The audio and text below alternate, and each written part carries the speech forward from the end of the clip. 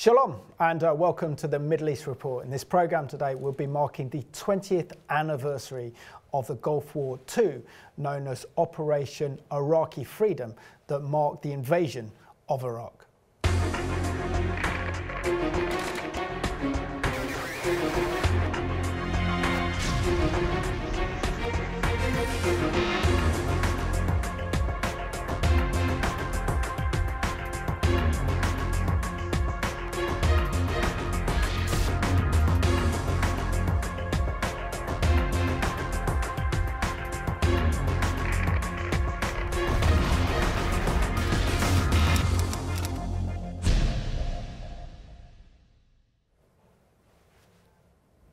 Warm welcome to the programme, and uh, we have a very special guest for this programme to mark the 20th anniversary of the Gulf War, and that is Major General Tim Cross, uh, CBE. Um, and, uh, you know, you have the inside view of, of what happened uh, during the war and then the aftermath of the war that I can't believe was, was 20 years ago. Um, but, Tim, can you share with us how you came to uh, faith in the Lord Jesus Christ as, as you've been a, a prominent uh, Christian in, in uh, uh, serving with distinction within the British Army?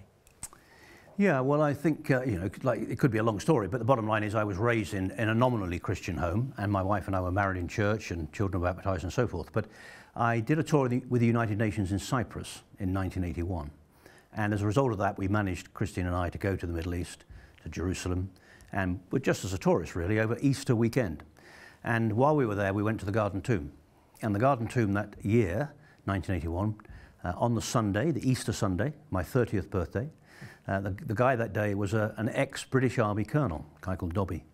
And uh, he showed us around the Garden Tomb and opened up the Gospel, particularly the Gospel of John, and explained that this could well be the place that Jesus was crucified. There was a, a first century wine press, there were various other bits and pieces outside the old city wall, hill shaped like a skull and so forth, and a first century tomb.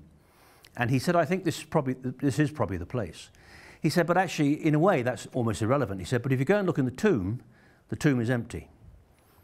And I don't know, I, I think back to this, I often wonder what I thought I was going to find when I stood up and walked over to this tomb, sort of leant against the entrance. But I found myself thinking, if this tomb was empty on that first Easter Sunday morning, that has to be the most extraordinary event in, in history, really. And I'd never really given it very much thought, is the truth. Um, if it hadn't been empty, or the whole thing was a um, you know, was, was a facade, then for 2,000 years plus, hundreds of millions of people have been completely wasting their time, as Paul says in one of his letters, you know, if, if Christ did not rise from the dead, then we are to be pitted amongst all people. But if he had risen, then things had to change. And I went back to Cyprus, where I was working with the UN, and as a result of that visit and that experience, committed myself to be a disciple of Christ, as my wife did separately to me, actually, a different story. But so it was a, a defining moment for me. So that was uh, best part of uh, 40 years ago. Uh, in fact, 40, 41 years ago. Uh, and uh, you know, I've been, a, I've been a follower of Christ ever since. Amazing. Uh, and can you just share with us as well, particularly for our viewers, because this is really important as well, um, your faith in, in, Jesus Christ. How did that have an impact on you as a, as a high-ranking officer in the British Army, in which you reached the the rank of Major General? Yeah, well, I was a captain at the time. Um, so I wasn't that high at the time. Uh, and I came back from Cyprus um, and uh, did a staff college course, and, and I was an ATO in, uh, in, in, Northern Ireland and doing other things. Uh, but I then became a company commander, subsequently a battalion commander, then a brigade commander, and then a divisional commander. So over the following 20 years or so, uh, I did end up by, by rising in rank. Um, I mean, it, it's, a, it's, a, it's a big, long story of all sorts of issues, but in terms of my faith, I think changed the way I led, I became a different leader. Um, I think the way I took some of the decisions I would subsequently take, particularly in places like Kosovo and elsewhere in operations, were different as a result of having become a Christian. Um, and I think, to be frank, I think I treated people better than I had previously. I don't think I was ever an ogre, but you know, the love of Christ and the and the recognition that every human being is magical, unique human being, soldiers and as well as anybody else, meant that I think you, you know we treated I treated people differently. Um, and uh, I, never, I never felt that I needed in any sense to beat, beat the soldiers over the head with the Bible. I never preached at them. But the way that I conducted myself and the way that I ran the organizations, uh, people would certainly, and did, you know, recognized pretty quickly that I was a Christian. And I had lots of really interesting conversations with people, particularly in operations where people were watching, as I subsequently did, you know, mass graves being dug up. Soldiers would ask some pretty sensible questions. You know, what on earth is going on here? Why do people do this to each other? So the idea of a fallen world and the idea of sin and the idea of uh, the fact that, um, you know, we, we, are, we live in the world that we live in was a great opportunity to, uh, to preach the gospel, but in a practical, you know, way of, of, being, of serving in these various places. Oh, which is incredible. So thank you so much for sharing your testimony as well. And um, Tim, you're involved in the uh, first Gulf War um, that really started when um, Saddam invaded Kuwait in, in 1990, in August of 1990. I was uh, 15 at the time, and, and this is when I really became interested in the Middle East. The world's focus was on Kuwait, it was focused on the Iraqi invasion, and, and then this huge military build up um, in Saudi Arabia to liberate Kuwait, which happened in, in February of, uh, of 1991. Um, can you share with us uh, your involvement in, in the first Gulf War of uh, 1991, your involvement, what that involved, and, and the strategic aims and objectives um, in this war that were very, very different from the war that we're remembering now in, in 2003? Yeah. yeah, well, I think to put it into context, we the Cold War, of course, had come to an end effectively in 1989. And we, amongst other nations, uh, the government decided to take a fairly substantial peace dividend. And to be frank, a lot of us stood around various barracks and officers' messes and places saying, what are we going to do now? Because the Russian threat, the Warsaw Pact threat had got away. Uh, but we woke up, and it was a strategic surprise to most people that Iraq had moved into Kuwait. And so the initial reaction was to establish Desert Shield, a UN Security Council resolution was passed. The Americans led very much on pulling the coalition together, and we deployed a brigade into Saudi Arabia as part of Desert Shield. And that operation was to stop the Iraqis going further south and trying to take the oil fields in northern Saudi Arabia, having secured the, the Kuwaiti oil fields. Now, there's lots of issues about the politics and what the Iraqis thought about Kuwait and so on and so forth, which we, we don't need to go into, but that Desert Shield was successful. Whether Iraq had intended to go further south, we never really know. But then we moved to Desert Storm, which was then the operation to push Iraq out of Kuwait. Uh, and the UN again passed resolutions on that. We then deployed a full armoured division under General Rupert Smith. I was part of the headquarters team in the logistic world.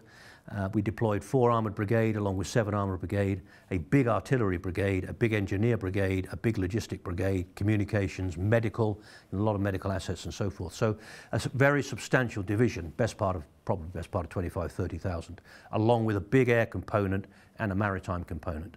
Uh, and we were part of 7 US Corps, which um, in the end we, we provided the flank uh, along with 7 US Corps going round the outside of Kuwait, cutting off the Iranian uh, Guard and um, you know, getting them out, along with the US Marines who came in from the south into Kuwait City itself. And I ended up, uh, I remember ending up on the road from Kuwait City to Basra, leaning on a Land Rover, listening to the BBC World Service to decide or to, to hear whether or not we were going to go on to Baghdad in 1991. Um, and I think the decision right at the time was no, that was not going to happen. There were pictures of this road littered with vehicles and casualties. It was, it was called the Road of Death at the time, and the Iraqis were you know, heading, heading for home.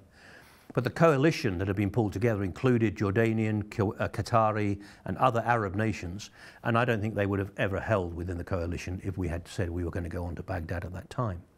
So we all came home relatively quickly. It was a very successful operation in, in that sense.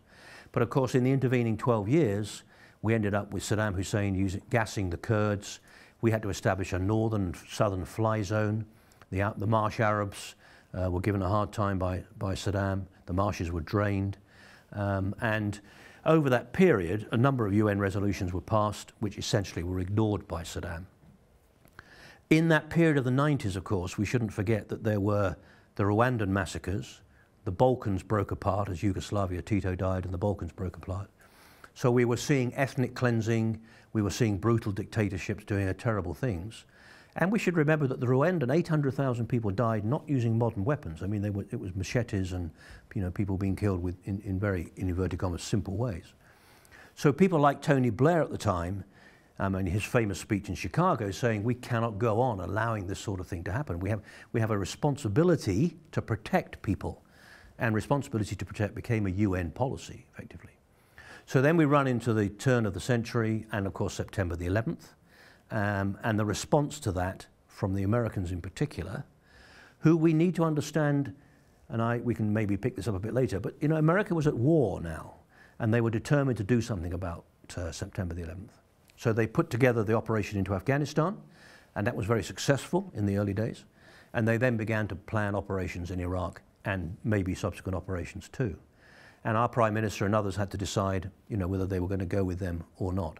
So I was part of a divisional headquarters as a lieutenant colonel back in 1991. By now, I was a major general, um, and you know, events unfurled as we shall discuss.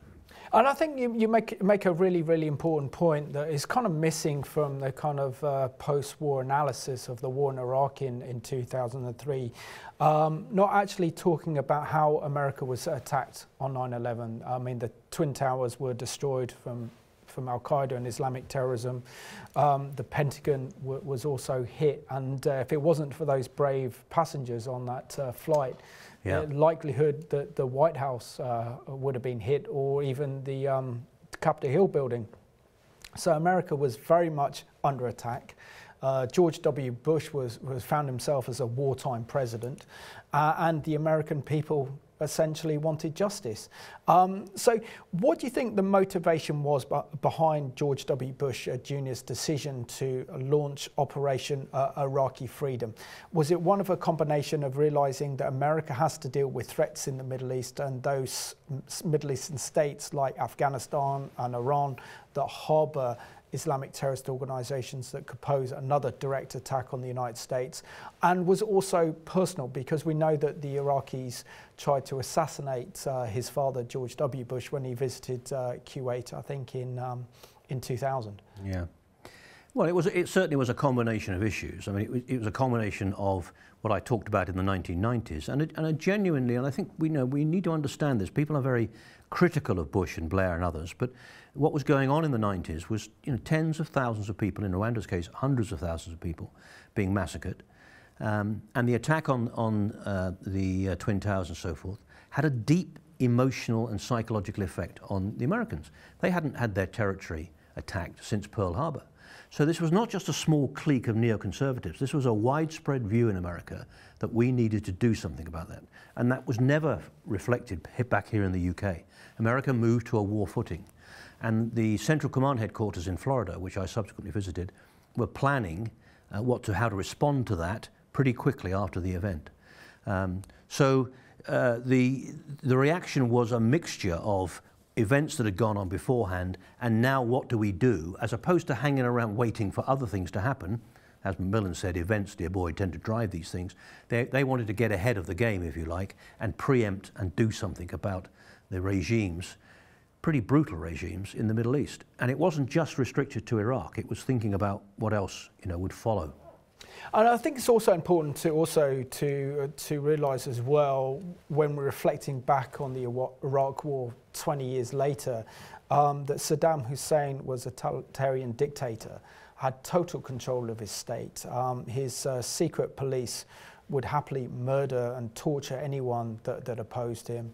You mentioned that he gassed his own people, the Kurds in the north, I think in 1988.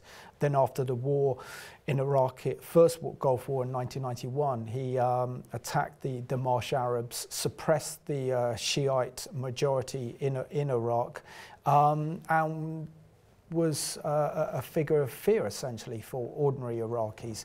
Uh, can you tell us the, the context in which the build-up of the war started because uh, uh, according to the American planners that I know that working in the, uh, the in Dick Cheney's office in the White House they were prepared to go in with American forces as early as October November of 2002 but it was Tony Blair who wanted to get a UN mandate uh, for this war. Um, can you share with us the kind of build up to sure. the war that eventually uh, uh, occurred in March of 2003? Sure, and we shouldn't forget that in that intervening period, Iran had a major war with Iraq, or Iraq had a major war with Iran. Um, and a lot, you know, a huge number of people were killed. A, a, war fought in almost First World War tactics in many cases. I think it was 1.5 million died yeah. in that war. And the West, of course, had tended to support Iraq in that period And, um, you know, obviously now we look back on that and wonder how that was, was the case. But in geopolitical terms, that was probably the right thing to do at the time. Now, so, so September the 11th happens. Americans decide they're going to do something about this. Set the Central Command headquarters in Florida begin to do the planning. They execute the Afghanistan operation. They then begin to think about what we're going to do about Iraq. The UN had, the Americans had used the UN. There have been conversations in the UN clearly, but no firm Security Council resolution had been passed that would have justified in, in, in, in uh, international legal terms an invasion. Um, but nonetheless, when I first went to Central Command in September, October 2002, uh, it was pretty obvious that they had a free hand. They, were, they would have been preparing to move in prior to Christmas, certainly, in 2002. Um, the Americans wanted a coalition to do this. They didn't want to do this on their own. In the same way as they pulled the coalition together back in 1991, they wanted to have a coalition to do this. So they were talking, obviously, diplomacy with lots of other countries. And Tony Blair had a good relationship with Bush. UK obviously has a good relationship with America. We've been together on many operations. I've served alongside the Americans many times. So the overall sense was if we do have to go to war, if, if, if Saddam doesn't give in, in inverted commas, then we do have to go to war. We should be doing this alongside the Americans in a broad coalition. And therefore, we need a UN Security Council resolution. And Bush definitely I, took his foot off the pedal, in inverted commas, and said, okay, try and get that through, um, which Tony Blair did. Now, in the original military planning uh, for the potential operations in Iraq, we were going to put an armored division in through northern Iraq, actually through Turkey, alongside a US division, US 4th Division, with a view to coming into the Iraq from the north, and the Americans were to come, a lot of troops were going to come up, up from the south, from Kuwait into Iraq. And over that period of those negotiations in, in the UN and elsewhere, we, the UK, we, the UK, as in Tony Blair and the UN, our UN representative and so forth, came to the conclusion the Turks were never going to allow us in. So we made the decision to move everything we were going to do to the south. Now, at that stage, I'd been stood up to be the, what was called the Joint Force Logistic Component Commander for operations in Iraq. And I had two logistic brigades and a lot of assets based in Cyprus, which was going to be our forward mounting base. Uh, and to be honest, it was going to be a very difficult logistic operation. We were going to have to land the, on the ports in the eastern Mediterranean, Mediterranean, move about 400 kilometers to a place called Silopi, a single railway line, a single major road, with another US division alongside. It was going to be really difficult. So that decision to go south, actually, uh, I was quite pleased with. And I was stood down as that component commander, and I handed that on to one of my brigade commanders. But that period of time had taken me to Central Command, where I worked alongside the other component commanders and our Joint Force commander, uh, a guy called Brian Burridge, an, Ameri uh, an, uh, an RAF three-star uh, commander. And, you know, it's seen the, seen the workings of Central Command, and it was pretty impressive. But what was clear at that stage is that nobody was really thinking about what was going to happen after the military campaign. And I'd been involved in some post-war stuff in places like Kosovo, when after we'd moved in, my brigade, I was brigade commander at the time, had rebuilt railways and, and prisons and, and infrastructure in all sorts of different ways. So having been stood down as that Joint Force Logistic Component Commander uh, and come back uh, uh to my, my job, my day job, if you like, around December time, uh, the then Chief of the General Staff, General Mike Jackson, rang me and said, I want you to go to Washington and join a team in Washington which is being run by a retired US three-star general, a guy called Jay Garner, and find out what is happening about post-war planning. So the Americans would have gone early. They gave uh, Tony Blair some space and time to try and get the UN to, to pull together some sort of resolution. That didn't happen. Other uh, European military or governments, Germany, France and others, didn't want to be part of this without a UN resolution. And other nations were on the edge, really. So the US and UK were really the only two major players at this stage um, planning this operation. And at that stage, we're now talking about January 2003, the idea was that we needed to get fully uh, mobilized in terms of getting our troops out to the Middle East to prepare for a spring offensive, in simple terms. Were we ready, though? Was the, I mean, there's been, um, uh, with a lot of the post-war criticism of the war in Iraq, um, particularly people I work with in Parliament, uh, with the likes of Colonel Patrick Mercer, who did a great job standing up the armed forces in Parliament, saying that uh, in the aftermath of the war in Iraq, um, our troops weren't uh, equipped properly with the right equipment, uh, everything else. What are your thoughts? Were we, as a military force, really prepared, maybe not for the actual overthrow of Saddam Hussein and his regime, but what would happen in the aftermath of, of his overthrow? Well, there are two or three aspects to that. Firstly, we had, of course, fought the war 10 years previously or 12 years previously, but a whole, the whole sort of sense of the U British Army was that we were defending in Europe against Warsaw Pact, we were going to fall back on defensive positions and so on and so forth. We, we fought this campaign in, in the Middle East 12 years previously, which was an offensive operation in the desert, very difficult circumstances. And I remember digging out pamphlets from literally from World War II and the the uh, North Desert, the desert uh, campaign in, in North Africa to look at the logistics and all that sort of stuff. In the intervening years, there had been defence cuts, there had been uh, you know, changes. The, the, systems that we'd used in 1990 were, were relatively new. Challenger, AS-90, Warrior, you know, extremely good bits of kit, many of which are still in service today, I might add. But you know, 12 years later, this kit was older. Um, but I think, we were, I think militarily we were ready for a, a high-intensity war-fighting operation. The, the real question was, uh, what was our part going to be in that, in terms of working alongside the Americans, and what was going to happen post-war. Um, now, we, we, we, mustn't lose sight of the fact that the US military planning was good. General Franks uh, at Central Command and um, the land component commander of the American forces and so forth put together a very good campaign plan. And there were lots of things that could have gone wrong. Um, the idea of, of, Saddam using nerve agents or chemical weapons, which he'd used previously against the coalition in the desert during the, during the military campaign, some sort of Stalingrad type approach of making uh, Baghdad a fortress, which would have been a really difficult fight. Uh, none of that came to fruition. The Americans conducted, along with our guys, a very good military campaign, which secured Baghdad you know, relatively quickly, without all of the things that may have happened. The question was at that point, were we ready to, to go to the next phase? Those, those military operations are called phase one to three, and phase four is the post-war planning. When I'd been in Washington in the, in the, I went in January and was there through February and March, working with Jay Garner, it was pretty clear that nobody had given serious thought to post-war planning. To be fair, the State Department in Washington had done a fair bit of work on this, but the people who were driving this was DOD, Defense, uh, US Def Department of Defense, which was headed up by Rumsfeld. Rumsfeld was driving this whole thing and didn't want any other people in Washington, any other departments, really have any serious part to play.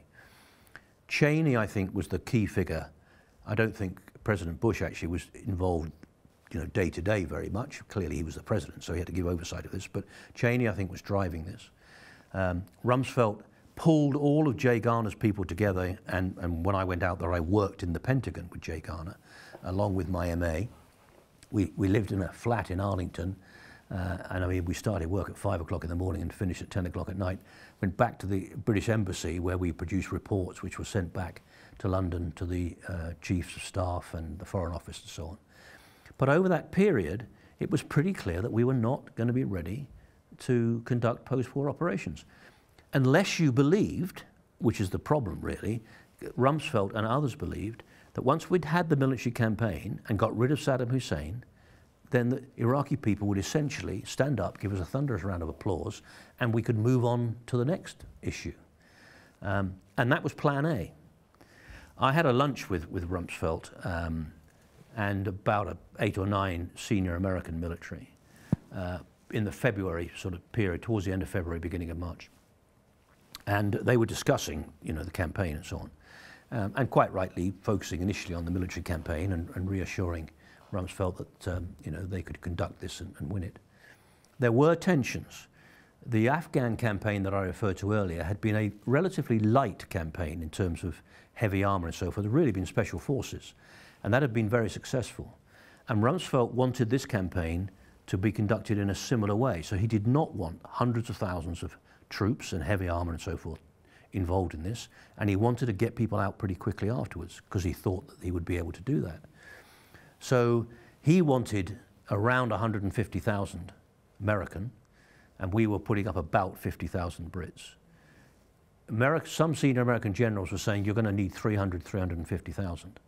Um, and he actually sacked one of his four-star generals for saying it.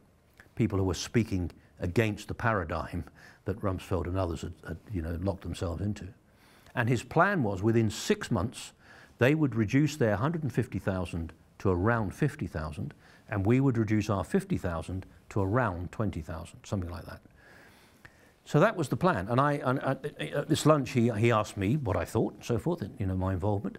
And I said to him, in Northern Ireland in the 1970s, we had the best part of 30,000 British troops around the Operation Motorman period in the early 70s, 27,000, something like that. I mean, Northern Ireland is a tiny place, trying to secure the environment. In Kosovo, we'd had about 60,000 coalition troops uh, under General Mike Jackson, the KFOR commander. You know, a tiny place. Um, if this goes well, we may be able to secure Iraq with the sort of numbers you're talking about. But Iraq is the size of France. And if, if things don't go well, the 50,000 and 20,000 is not going to be able to, to hold and secure Iraq. Secondly, you have to, we, I think, in my view, Mr. Secretary, we're going to have to work with the UN and the non-governmental aid organizations and so on. Because the UN itself was saying, for example, that there will be a humanitarian catastrophe when this, when this operation uh, is, uh, is uh, you know, started. Um, possible use of chemical weapons, uh, lots of people injured, and uh, food and water crises and all sorts of stuff. And, and I went with Jay Garner to the UN uh, to, for a session with them um, with uh, Louise Frechette, who was then the Deputy Secretary General. And she made it quite clear that the UN's view was this thing was potentially going to be ca catastrophic and that we, the coalition, would own the problem. And therefore, we would have to have, have the assets necessary to, to deal with the humanitarian problem and the rebuilding problem in terms of infrastructure and so on. Now, we, the Americans were not planning on any of that. So the size and shape of the force, who we were prepared and not prepared to work with, and thirdly, I, I said, I think we just need more of an international coalition. Without being unfair to Rumsfeld, because leadership is not easy in any circumstance, but he didn't want to hear this. So, you know, I was cut out of the paradigm again. Um, and they pursued that plan. My final comment to him was, okay, plan A is what you think is going to happen. What's plan B and what's plan C? Because of the three plans in any military organization you put together, it's always the fourth that happens. Hmm. That's just the nature of the business events drive this stuff. Uh, and um, I mean, before the start of the program, you, you, you talked about um, having discussions with the then Prime Minister, then Tony Blair. Um, why do you think Tony Blair decided to go in with uh, George W. Bush and uh, align ourselves with the American forces to bring about the removal of Saddam Hussein and effectively bring about regime change uh, within Iraq? Yeah, well, again, I would go back to Tony Blair's. He'd been Prime Minister, of course, during the 90s. He'd, he'd, been Prime Minister for the Kosovo operation, and he'd driven that quite hard.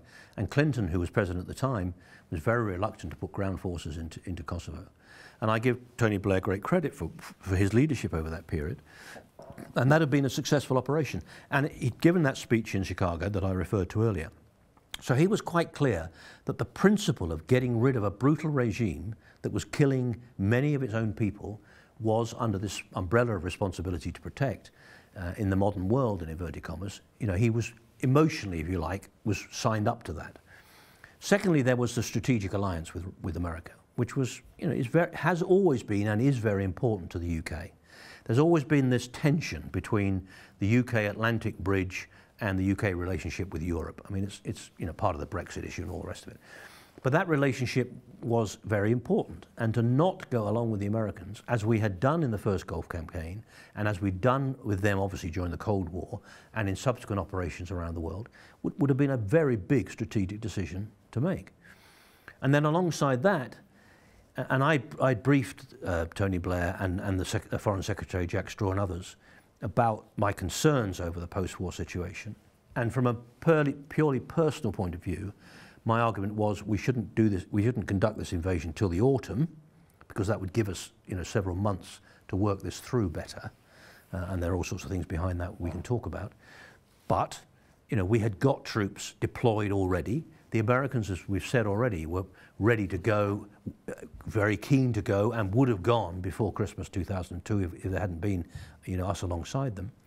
And at one point in about March time, I think, Rumsfeld, recognizing that the, we hadn't got the second resolution and recognizing Tony Blair's political situation, Rumsfeld literally stood up publicly and said, you know, I understand where the UK are, and alone and unafraid, we are going to do this. So it was pretty clear that whether we were alongside them or not, they were going to go into Iraq in March, around March time. And then alongside that, and in briefing Tony Blair and indeed others, and it, it, to be honest, as part of my own thinking, was at the end of the day, this is the world's superpower.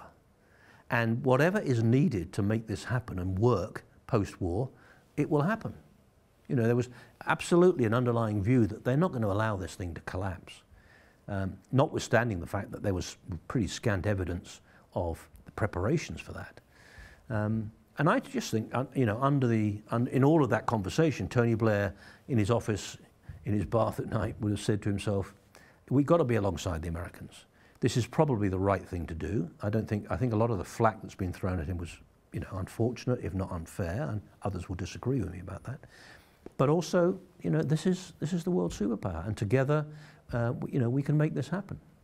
Uh, and Tim, can you just share with us um, the first moments of the war that occurred on the uh, 19th of March 2003, known as uh, shock and awe?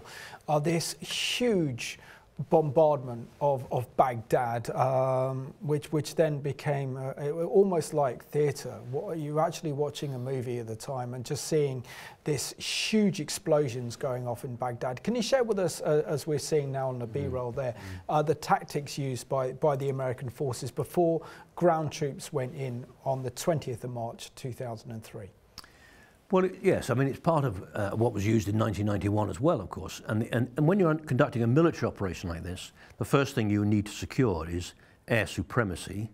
Uh, I mean, you could argue air superiority, which is a slightly different thing, but you know, you want air supremacy. You want to be able to operate in the skies and be able to uh, make sure that the, there's no enemy, enemy aircraft around. And we're seeing this played out to a degree in Ukraine.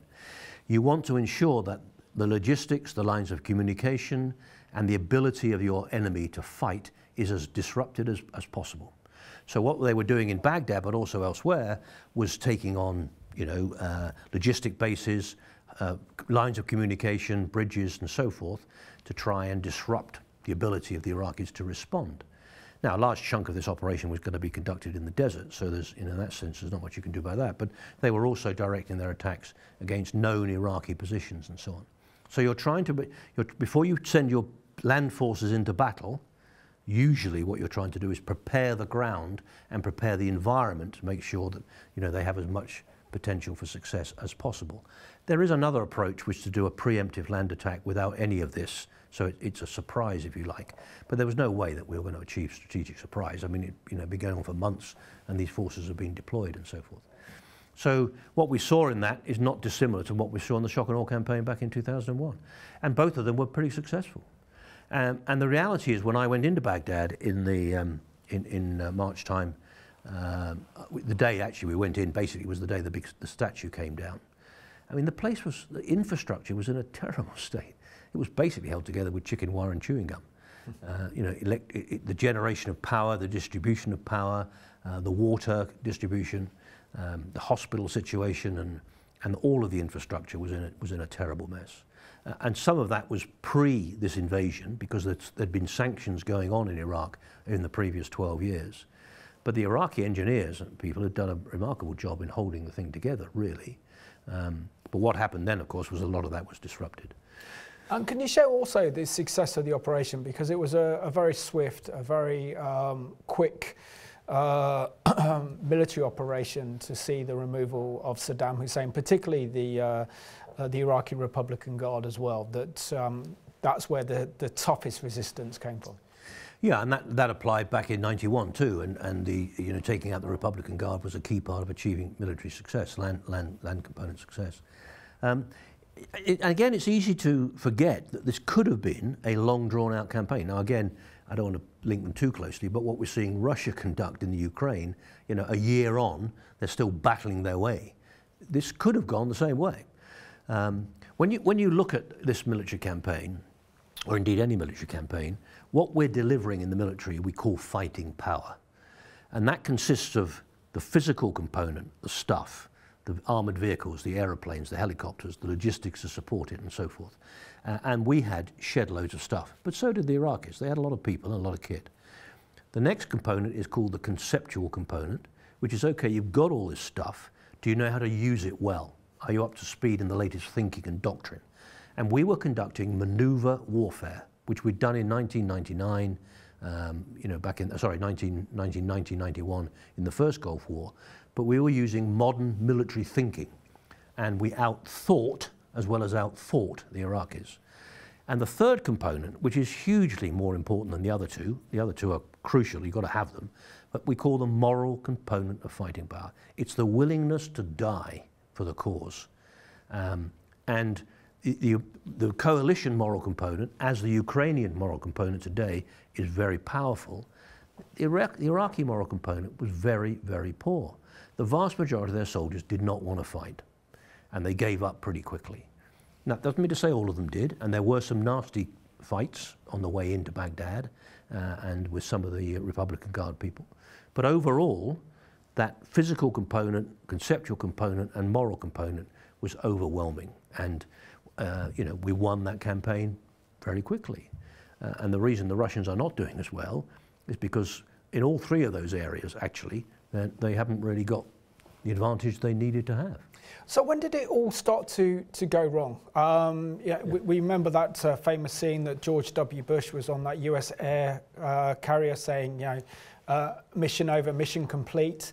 Um, and then it just seems to, it just went disastrously wrong after that, and particularly as the as we saw then an insurgency campaign um, being fought against British troops in Basra in the south of Iraq. Um, Baghdad became essentially almost a, a, a terrorism state. Um, were the military planners kind of aware that this would be the result of the removal of Saddam Hussein and actually initially winning him and, and, and actually getting rid of uh, Saddam Hussein and the Baathists? Well, it's a long story, but essentially, I mean, there's, there's certain things here that I think are worth, worth saying. One is, and I, I hesitate to, to be too clever or condemning about this, but within the American and I have to say within the British Foreign Office, there was an extraordinary illiteracy about religious issues in the Middle East. I mean, senior people not understanding the distinction between Sunni, Shia, Kurd, Turkoman, Christian, or whatever. So that idea of just getting rid of Saddam and thinking that everybody else thinks much the same as we do, you know, we do have this tendency in the West to think about the rest of the world should think as we think and want what we want and all that sort of stuff. So there was a lot of misunderstanding about what we were going into when we got into Iraq. Alongside that, the military had seen what had happened in 1991 and the American military had been involved with this, many of their soldiers, for, for a, a, good year at this point. They'd been training, they'd deployed, they were you know, based in Kuwait and elsewhere. And the, when the military campaign finished, they, they wanted to go home. And from the land component commander, Dave McKiernan, and downwards, people were ready and preparing to go home. They wanted to go back to the ticker tape parades and write their books, get their medals and all the rest of it. Um, so in, again, in, from a moral component point of view, if you like, it was linked to that. We've done our bit, and they had done it well, and they were ready to go home. And because Rumsfeld's plan was it's going to be fine, they were, you know, they were prepared for the fact that they were going to reduce from 150,000 to about 50,000. Some new people would come in, and everybody else would go. Um, now, when we got into Baghdad, the, there were three issues that Jay Garner, and I've got a lot of time for Jay, by the way. He was a very capable operator. Um, there were all sorts of issues that we could talk about. But Jay's initial plan was there are three strands that we need to deal with. One is the humanitarian problem that the UN and others, a lot of the aid agencies and the NGOs had been uh, talking about for weeks, if not months beforehand. The reality was there was no major humanitarian problem in the sense that people had been putting on the table. But he had a string of people who were going to focus on the humanitarian issue.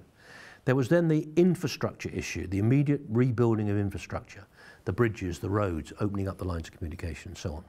And then the third strand was rebuilding the ministries and the ability of Iraq to begin to run itself again. So if you imagine going into London and around Whitehall, you've got your Foreign Office, you've got DFID, you've got the Treasury, you've got the Ministry of Defence, you know, Trade, Department of Trade, and so on and so forth.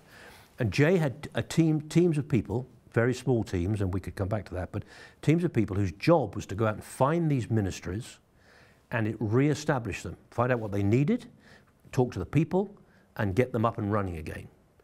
And then, the, and so that was those three strands. Alongside that was to conversations about how is Iraq going to run itself once this is over? An interim Iraq authority that Jay was working towards. Uh, and that's a complicated story that we can come back to. Now, there was no humanitarian crisis. There was a civil, there was an infrastructure problem. But these ministries were key to getting this thing up and running. Jay and I went up to the Kurdish region, which I have to say was like going to the liberation of Paris. I mean, they were delighted to see Saddam gone. Uh, we then went to Basra, who were pretty pleased to have seen him gone. But the infrastructure in, in Basra was in a terrible state. I mean, there was raw sewage running through hospitals, et cetera, et cetera. I mean, it was a really awful place to see. And then the Marsh Arabs we've, we've touched on. And then Baghdad itself, which was not completely, but certainly largely pro, um, pro Saddam. And of course, we had, Saddam was still around at this stage. We hadn't, they hadn't, you know, we hadn't found him collectively. So everything was you know, trying to get this thing up and running quick, fairly quickly with Jay. The military were not being particularly helpful because they were focusing on going home. These, we found these ministries and began to, to, to do some work there. But then the, initially there were then some rioting, and you may remember the pictures of museums being looted yes. and government buildings being looted. And that was worrying, and the American military just didn't, weren't taking that seriously. I mean, I'm seeing this from a Baghdad perspective because I'm in Baghdad with Jay. And Rumsfeld famously said, oh, this is the exuberance of having got rid of a dictatorship and all of that stuff. By now we're running into June, about May, June time, 2003. And things are not going well in terms of the, what Plan A, you know, had said it was going to happen. And the decision was made to pull Jay Garner out of the lead and bring in this chap, Paul, Paul Bremer, Jerry Bremer. Um, now, I'd, I'd, had a conversation with Jay, and uh, we haven't got time to go into all of this, but you know, Jay, you're effectively going to be the viceroy of Iraq. I mean, in, in our you know terms of, and and therefore the world's media is going to be on you. You're going to have to control this. You're going to have to bring the military under command, and you're going to have to drive this. Because Jay was a retired three-star military, and there were four-star serving military, uh, John Abizaid and others in, in Iraq, he never felt that he had the authority to take ownership um, and there are all sorts of stories I could tell you. Bremer then arrives, and Bremer does take on the mantle effectively of being viceroy. And he does three crucial things very quickly. We're now talking about um, June time. Firstly, he disbands the Iraqi military. Jay had not wanted to do that. He'd wanted to use the military to help clear up the place, apart from anything else, and he wanted to pay them and help use them to help with security. And when we look back in Japan in 45, in Germany in 45, and other places, you know, that's not been unusual to do. But Bremer, and I, know, I, never, I don't know to this day whether he came with this decision in his pocket. I think he did. And I think it was a, probably a Cheney decision or a Rumsfeld decision. Basically, he said to the Iraqi military, go home. Not just go home, but we're not going to pay you and you're not going to get your pensions. So every, every soldier suddenly thought, well, how am I going to survive? And the, you know, I'd been a brigade and a divisional commander. What happened was those equivalents of the Iraqi military rang up their staffs, rang up their people and said, pick up your Kalashnikovs. We're going to have to, you know, fight for a living here somehow. The second decision was to de-Ba'athitize the hierarchy of Iraqi society. Now, I'd, I'd, said earlier on that it was all held together with chicken wire and chewing gum and so forth, but at, at this early stage, under Jay's team, we had got people talking to the electricity generators, the distribution, the hospitals and so on, and we're beginning to build relationships with these people. All the numbers in one and two in these departments had either been killed or had fled. I mean, they were hard Ba'athist people. But in Iraq, like many other places, and you know, in dictatorship terms, if you weren't a Ba'athist, you didn't get a decent job, really. So the numbers three, four, and five in these organizations were Ba'athists But they weren't hardened thugs and criminals and so forth. They were engineers and scientists and nurses and doctors and so on. But Bremer came in and took this head down to, and the only debate was how deep does he go? But he basically took the head, and therefore all the capable, all of the people who'd been driving and working in the industries and in, these various, um, you know, civil society areas, and got rid of them all. Again, just sent them home. And I, I watched as, you know, senior military generals were in tears over the fact that these relationships that they built were just being disintegrated in front of them. So de-Ba'athitizing the whole society took the head off the, the government and the ability and the capability to run these departments. And then thirdly, he slowed down the whole political process of this interim Iraq authority that I touched on. And essentially said, I am going to run this place for the next 12 months. And anybody who thinks they're going to get involved in you know, some sort of Iraqi government and so forth, you're not, it's not going to happen.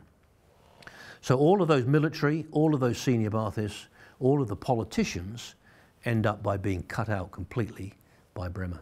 We've got about nine minutes left of the programme, Tim. I could certainly do another hour with you because it's absolutely fascinating. But can you share with us where we saw the uh, Iraqi insurgents with the birth of Al Qaeda in Iraq? We saw the awful suicide bombings. Uh, we saw again these horrible terror tactics that we saw during the uh, civil war in Lebanon.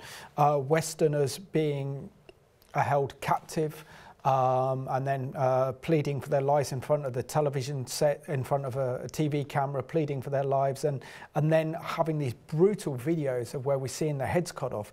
Um, explain how Iraq ended up from being liberated to this failure to transition to an Iraqi government and then a full-blown insurgency. Yeah. Well, and, and, of course the birth of ISIS and all, all that followed from that. Again, if you, you know, if you don't understand military, uh, sorry, the, the Middle East and, and, the, and the nature of Middle East politics and tribal politics and the, distinctions in the Muslim world and, and so on and so forth, um, which I don't think you know, a lot of people did understand it deeply. Um, a very senior Iraqi said to me in Baghdad, the Americans don't understand why we hate them, and that is why we hate them. Which is a very profound statement when you think about it. He then said, You Brits understand why we hate you, but we don't hate you as much as we hate them, because we obviously operated in, in the Middle East for a long period of time. But the, initially, this terrorism is about not just looting, but it is about trying to create, you know, have a living. People were just trying to create a living. But the distinction, having, having had a regime that was a minority regime that had used brutal power against the majority, inevitably there were people who just wanted to take revenge. I mean, we'd seen this in Kosovo when everybody, when the Albanian Muslims had gone back into Kosovo, beginning to have a, have a crack at the Serbs who'd, you know, given them a hard time. So there's initially there's all sorts of issues going on, but amongst it is revenge. It's amongst about saying we're now going to have power here. We're going to run this place with the majority. There's then the distinction between the Kurds and the and the and the and the uh, Arabs and the and the Muslims and so forth. You've then got the interference from Iran. Absolutely. And Iran's influence was, you know, obviously uh, pretty heavy fairly quickly. I remember early on people asking, you know, was Iran going to move in? And I, my answer was no, not with, not with the Americans and ourselves here militarily, but they'll move in to try and work with um, the, uh, the, the, South in particular and create an insurgency. And the, Ira the Iranians wanted to create an insurgency against the West. And alongside that, notwithstanding, or, or include, you know, including my earlier comment about the Americans, is we shouldn't underestimate a lot of Arabs do not like the Western world. I mean, you know, there's a deep-seated issue going on here. Uh, we tend to think that everybody, you know, freedom and light and democracy and so forth is. At the end of the Cold War, there were these books that were written about the end of history and Fukuyama and various other people. You know, that's not the way that all the world thinks. We see that with China and Russia and Iran and Korea and other places.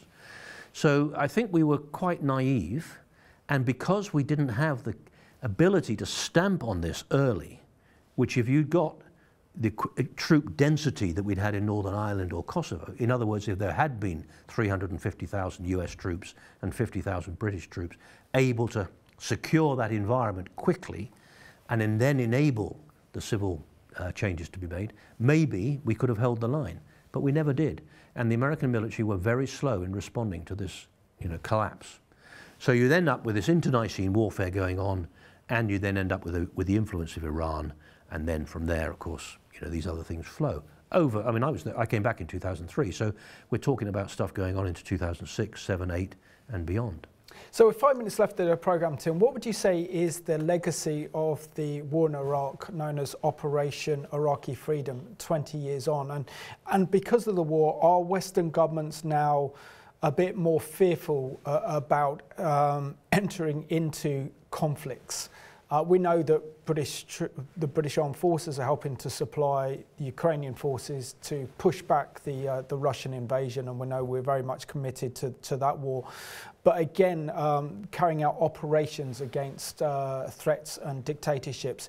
Um, do you think because of the war in Iraq that there is a reluctance now to get in, involved in any wars like we did in Iraq 20 years ago? Yeah, I think there is. Um, these were what is euphemistically called wars of choice. These were not wars that we had to fight for national survival, as in World War II. So these were wars of choice. They were wars that, that, as we discussed earlier, were genuinely felt to be necessary by people like Tony Blair and others to deal with the world as it was and the terrible things that were going on. Um, but they haven't gone well. There's no point in pretending otherwise. And although Afghanistan went well initially, you know, at the end of the day, we pulled out of Afghanistan in not a particularly you know, impressive way. Um, and Afghanistan is, is now where it is. So you don't need to be you know, anti-America or anti-British to say these wars didn't go well for us. Now, why not? Because we didn't have the force levels in place. We weren't prepared to stay there for as long as we probably needed to be. I mean, we were in Northern Ireland for 30 years before the, before the Good Friday Peace Agreement, effectively. And the Balkans wars are still going on, one way or another. Um, you have to be engaged in these places for a long period of time. And we in the West weren't prepared to do it. You've got to be fair to the Americans. They've thrown trillions of dollars into these campaigns in both Iraq and Afghanistan. But I think for most people, they would say, this hasn't gone well, and therefore, why should we get involved in anything else? And it's reflected in our response to Ukraine, where we are effectively allowing Ukraine to fight a proxy war, which we are providing equipment for and financial support, but not prepared to put boots on the ground, to coin a phrase. Now, I happen to believe that's right, because Ukraine are not part of NATO. But if this were not to go well, then maybe there would be a war of necessity as opposed to a war of choice if Russia were to move into the Baltic states or try and take on Poland or where else. So the legacy, I think, is a reluctance in the West to engage in this, a recognition that responsibility to protect sounds great morally and ethically, but there are consequences if you want to follow that line. Um, and, you know, apart, apart from anything else, we've seen the reality of quite large cuts in defence spending in the UK and, in, uh, you know, and initially elsewhere, although that's changing as a result of Ukraine. And there's a big debate going on now about what happens in the UK. And I, you know, I think too, perhaps people are realizing that whilst we would want to see a world, a free world. And, I, you know, be under no illusion here. What do I want to see? I want to see a world of freedom where people can make their own choices about which God they serve, about who they vote for, about what their government looks like, you know, what we might call liberal democracy and capitalism and so forth. We, I think we now realize that quite, quite a lot of people around the world, they're not happy to live under brutality, but they, they, they just seem to be prepared to, to do it, and they're very reluctant to rise up against it. So I don't know where it leaves us, you know, as we look ahead to the next 10 or 15 years. But I, I think what's happened in that period of 2000 to 2015, 2017, you know, is undoubtedly has, is not going to go away quickly. You know, we're, we're going to we're going to live with the reality of that for the next couple of decades. Uh, and, Tim, the final minutes of the program, um, do you want to share something about uh, the courage and the bravery shown by British uh, forces uh, fighting in the Iraq War and and um, you know, being a soldier, you, you, don't have a choice. These are political decisions that are made in, in Downing Street, and, and have to make those choices. So, within 30 seconds. Yeah. Well, you know, we talk about courage, and, and that's true. And there are two types of courage, of course physical courage and moral courage. And the physical courage that you have to display is displayed in these campaigns by soldiers on the ground, particularly by those, you know, at the front end of the battle, the infantry and the armoured corps and so forth. The nature of the battlefield doesn't change much. At the end of the day, it's about a willingness to fight and engage and be prepared to die. And that takes courage. And uh, the British military have been good at that, quite a long time, and I think we're still very, very good at it. So, Major General Tim Cross, thank you so much for an insider's view on uh, the Iraq War uh, of 2003 as we mark its 20th anniversary. So, thank you so much for being my special guest on the programme. And I just want to thank you for watching this programme today. It's always special to have an inside view, particularly as we mark the 20th anniversary of the war in Iraq, known as Operation Iraqi Freedom, and how not only did this war change the Middle East, but it also changed the world in which we live in. So thank you for watching this week's edition of the Middle East Report.